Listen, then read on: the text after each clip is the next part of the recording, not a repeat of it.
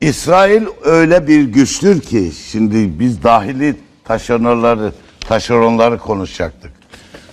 Bu dahildeki taşeronlar yani din karşıtı hareketleri laikliği İslam aleyhtarlığı bir tarzında devam ettirmek isteyenler kullananlar içerideki taşeronlar diyoruz değil mi? Onlar da kullananlar beynelmilel Siyonizm'dir. Beynelmilel Yahudidir. Yahudinin gücünü anlamanız için size bir iki misal vereyim. Bunlar uzun anlatılsa her biri 3-4 saatlik konferanslık mevzulardır. Bakın Balfour İngiliz Hariciye Nazırı Filistin elimizden çıktığı zaman Balfour Deklarasyonu diye beyannamesi diye maruf bir beyanname vardır. Bunu dünyaya mı ilan etmiştir de buna deklarasyon deniliyor?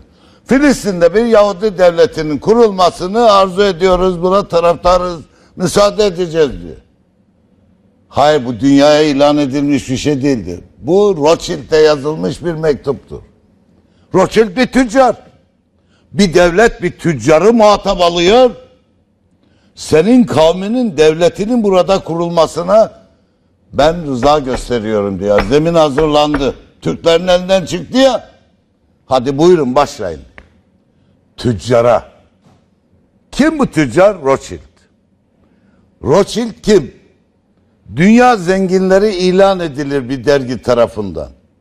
Ne Rockefeller'in adı vardır ne Rothschild'in adı vardır. Halbuki o dünya zenginleri ilan edilen zenginlerin hepsinin serveti toplansa Rothschild'lerin zerresi olmaz. Zekatı kadar olmaz. Amerikan devletinden daha zengindir Rothschild. Bunu anlamanız için size Amerikan dolarını göstereyim. Amerikan dolarını basan aile Rothschild'tir. Sen bir devletsin, süper güçsün. Nasıl süper güçsün ki para basma hakkını bir aileye vermişsin. Nation'ın Reserve Bank yazar. Burada fotokopisini getirdim. Nation'ın Reserve Bank yazar. Amerikan dolarının üzerinde. Ve Yahudi a, şeyi Siyon işaretleriyle doludur dolar.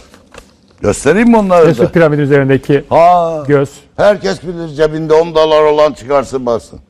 National Reserve Bank. Biliyor musunuz? Kennedy niye öldürüldü? Kennedy İsrail'e iki ta- meselede tavır koydu. Birisi nükleer silah yapıyordu. Bunu dünya için tehlikeli görüyorum. Yapma dedi. Ben Gurion'la diplomatik savaşa girişti. İkincisi de kanun çıkardı. Amerikan dolarını Amerikan Merkez Bankası basar bundan sonra. Rothschild'in bankasından aldım dedi. Dört tane bir, bir sıfır koy. 11.110 numaralı kanundur. 4 Haziran 1963'te çıkmış bu kanun. Kennedy Amerikan parasının basma hakkını Yahudi ailesinden aldı, kendi Milli Bankası'na verdi. Sonra suikaste kurban gitti. Öyle mi? Evet, suikaste kurban gitti. Yerine gelen Johnson bu kanunu iptal etti. Bugün gene Amerikan doların üzerinde National Reserve Bank yazar. Rothschild'in bankası basar parayı.